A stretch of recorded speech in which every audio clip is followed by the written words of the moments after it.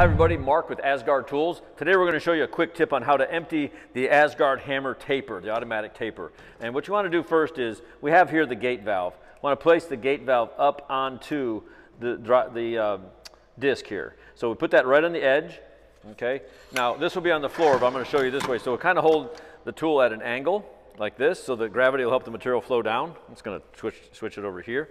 Now what we'll do is turn this drive dog and empty out the material down into the bucket. So if you have any left over and you want to empty it out, it just keeps keeps this main sprocket from turning. It's just easier to turn just the cable on there. So then close the, the, disc, the uh, gate valve back down and the material is emptied out. So just a quick tip on how to quickly empty the Asgard hammer.